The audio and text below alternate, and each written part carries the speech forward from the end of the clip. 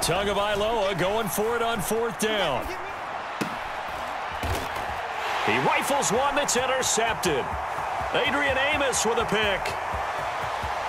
And now off to the races down the right side. And into the end zone. It's a pick six and a Packer touchdown.